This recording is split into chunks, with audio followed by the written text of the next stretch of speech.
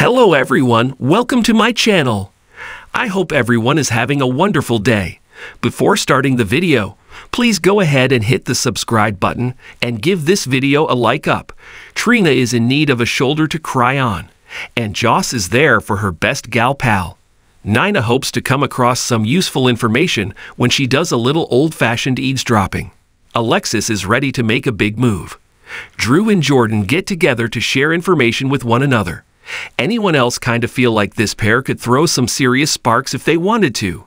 Just like April showers bring May flowers, Ava's decision to play dirty yesterday has her covering her tracks today. Blaze is dealt a devastating blow.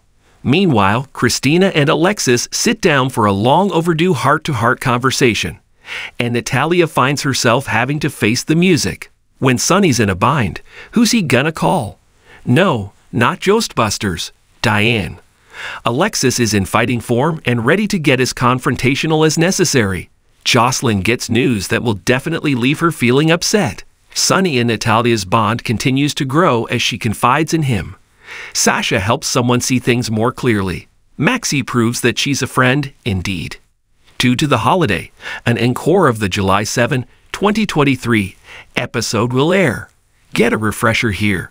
Will Dad be the only person who can talk some sense into Sonny? Kristina's been keeping things bottled up, but she's about to unleash her anger. Maxie and Brook Lynn, who've made a pretty good scheme team in the past, put their heads together in order to come up with a winning strategy. Trina and Jocelyn are ready to make a major move, literally, as they check out their new home. When Nina updates Drew, will it be all talk, or might things, as they so often do with these two, take a turn toward the naked?